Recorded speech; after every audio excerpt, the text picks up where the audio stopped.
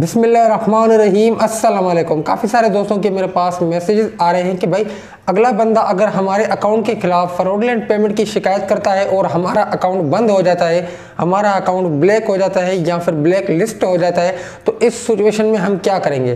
तो दोस्तों, इस तरह पॉसिबल नहीं है कि सामने वाला बंदा आपके अकाउंट के खिलाफ फ्रॉडलेंट पेमेंट का जो है वो मतलब अफेक्ट लगवा सके और आपके अकाउंट को ब्लॉक करवा सके। अगर ऐसा पॉसिबल होता तो हर कोई बंदा सामने वाली पार्टी का अकाउंट सस्पेंड करवा सकता है, बंद करवा सकता है। दोस्तों, ऐसा नहीं होता है। जब भी आप कंप्लेन करेंगे तो कंपनी आपसे टीआईडी नंबर पूछेगी ट्रांजैक्शन की। जो ट्रांजैक्शन आप करेंगे फ्रॉडलेंट पेमेंट की जो ट्रांजैक्शन होगी, आप उनको टीआईडी नंबर बताएँगे। मतलब इस तरह से वो आपसे इस तरह पूछताछ करेंगे, पूरी वेरिफिकेशन करेंगे। उसके बाद जाके उस अकाउंट को ब्लॉक करेंगे। डायरेक्टली आप कंप्लेन करेंगे तो उस अकाउंट को ब्लॉक नहीं कर सकते हैं।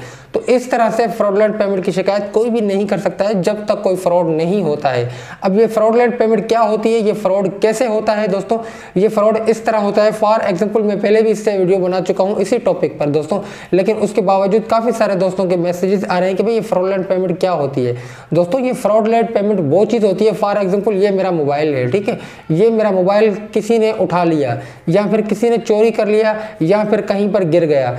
इसके अंदर मेरे अकाउंट में पैसे भी रखे हुए हैं और इसका जो पासवर्ड है, वो बिल्कुल सिंपल है इजी है। अगर जेस का है अकाउंट तो इसमें चार ज़ीरो है। अगर टेलीनोर का है तो पाँच ज़ीरो है। ठीक है दोस्तों, ये होता है सिंपल पासवर्ड ये पासवर्ड हर कोई बंदा ट्राई करता है।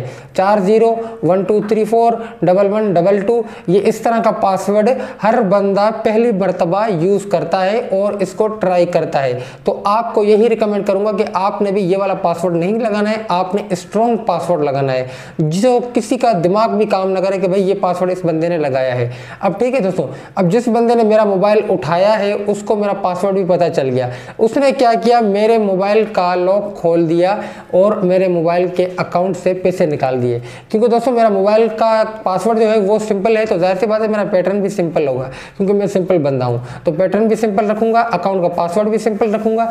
तो इस तरह से उस बंदे ने मेरे अकाउंट से पैसे निकाल दिए किसी को ट्रांसफ़र कर लिए। मैं क्या करूँगा? अपनी सिम को डुप्लीकेट करवाऊँगा या फिर अपना अकाउंट खोलूँगा। अपना अकाउंट खोलने के बाद मैं अपने ट्रांजेक्शन हिस्ट्री में जाऊँगा।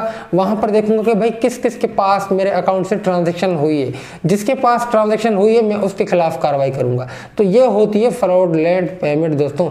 मैं उम्मीद करता हूँ ये बात आपको समझ में आ गई होगी। ये जो मैंने आपको एक छोटी सी मिसाल दी है दोस्तों, ये इस तरह की बहुत सारी फ्रॉडलेंट पेमेंट की कैटेगरी हो सकती है। मतलब फ्रॉड के कई किस्म हो सकते हैं। ये मैंने आपको एक एग्ज़ाम्पल दिया है आपको समझाने के लिए।